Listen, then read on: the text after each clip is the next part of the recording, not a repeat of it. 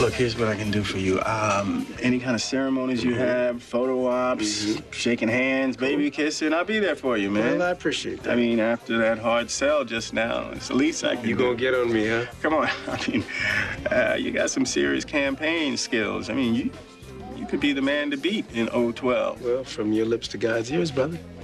But but but on the real, I got one more thing to talk to you No, about. with, with all due respect, I really don't want to work for the government as an investigator or anything else. But, but you haven't heard me out yet. But wait a minute, wait, wait, hold up.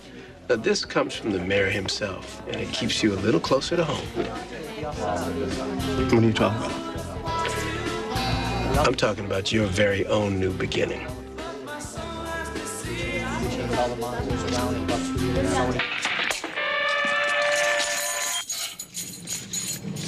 Hi, superstar. Morning, Carmen. You were up early today for your visitor. Who was it this time? Action Jackson or Sexy Sammy? Oh, actually, it was my daughter, Kendall. Oh. So what's up with Pine Valley's Danielle Steel? you mean Kendall? Oh, not much. She's just, uh, well, nothing she can't handle. Just having uh, some problems with a very difficult so-called friend. Yeah. I've had my share of those.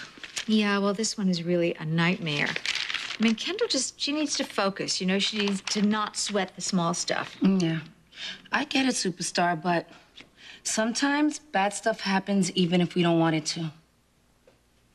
What does that mean? Hey, Erica, this new chick's got nothing on you. Shut up, Rosalie. Uh, I'm sorry. What'd you say?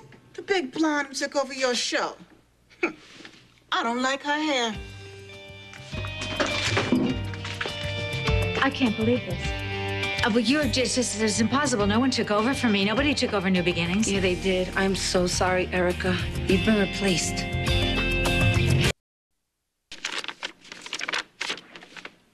Dear Mr. Lavery, as mentioned in my previous correspondence and when I spoke to your wife, your 2005 vasectomy surgery was never performed.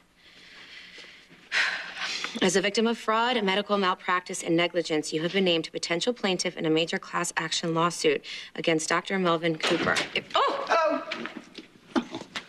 Why so jumpy, Butterfingers? You're dropping stuff all over the place. Here, No, me. no, no, no, no, it's okay. Richard, give me my letter. Oh, you must. This must be a real No. page turner for you. It that bad? Oh, this is a real bestseller. Richie, Let me guess. That amnesiac old man of yours has no idea he could still make babies, huh? Hey, yo, Dr. Hubbard. Oh, hey, baby. How you doing? You saved any lives today? Uh, doing my best. Uh, what's the surprise visit for? Well, I needed to talk to you about something, and it couldn't wait to the end of your shift. Is everything okay? Yeah, yeah, it's fine. Um, Sam Woods offered me a job again, That's great. Doing what? taking over for Derek Frye as chief of police. Wow, that's flattering. Yeah, I know. How did he take it when you turned him down? There must be some mistake. Who is that woman? Oh, she was on that reality show, you know. I think she ate bugs. Oh, this is impossible. This, no, I will not let this happen. Hey, why don't you show me how to do some of those yoga stretches you like so much? Pam's the ones name with the on deep the credit. She's breathing. producing someone else. What a traitor! I especially like that upside dog dog thing. you know, this- this that one really calms you. Come on. really impossible. No one replaces Erica Kane. Maybe you should have eaten bugs too. People like that. Shut up, Faye. Whatever happened to you not sweating the stuff? Oh, okay.